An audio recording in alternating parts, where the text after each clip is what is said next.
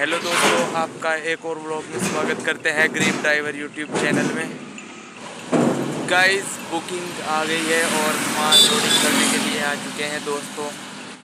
दोस्तों लोकल भाड़ा है। दोस्तों लोकल भाड़ा कितना होना चाहिए और मैं कितने लेता हूँ लोकल भाड़े के?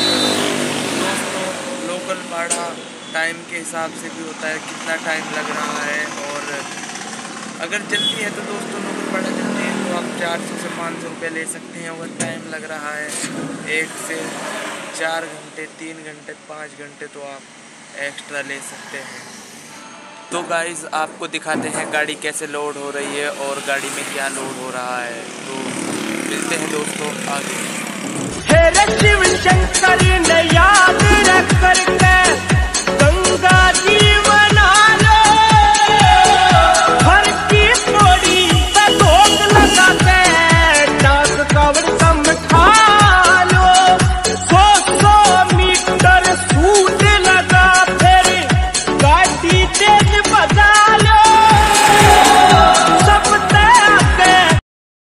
गाइज़ आपने देख ही लिया होगा गाड़ी कैसे लोड हो रही है और अब माल भरने के बाद दोस्तों कांटे पे जाएँगे आपको आगे की वीडियो भी दिखाई जाएगी। दोस्तों, मिलते हैं कांटे पे।